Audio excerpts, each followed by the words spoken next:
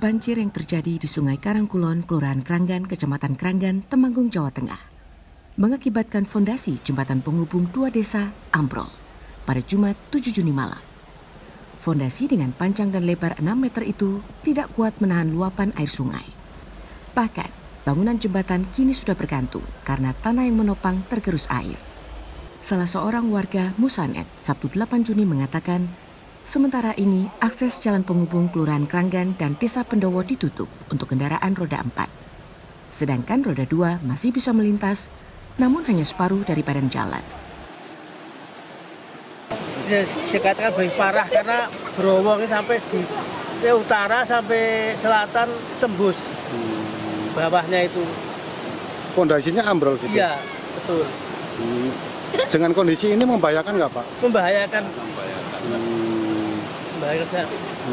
Berarti ini uh, bisa hanya bisa dilewati apa saja? Hanya sudah dua sementara ini kan sudah parah.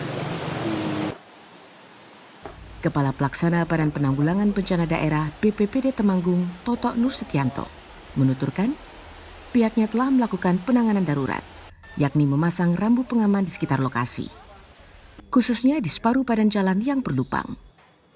Kita akan cross-check dulu uh, aset tersebut milik kelurahan atau milik kabupaten. Manakala milik kelurahan nanti kami akan sampaikan kepada kelurahan melalui rekom dari kita untuk dibangun melalui bantuan keuangan. Dan nanti untuk kajian ke DPU kami sampaikan kepada Bapak Bupati untuk mendapatkan uh, disposisi uh, penanganan lebih lanjut. BPBD Temanggung mengimbau para pengendara dan masyarakat yang tinggal di sekitar lokasi untuk meningkatkan kewaspadaan. Karena jika terjadi banjir susulan, jembatan tersebut berpotensi ambrol. Dari Temanggung, Jawa Tengah, Firman Eko Handi, Kantor Berita Antara, mewartakan.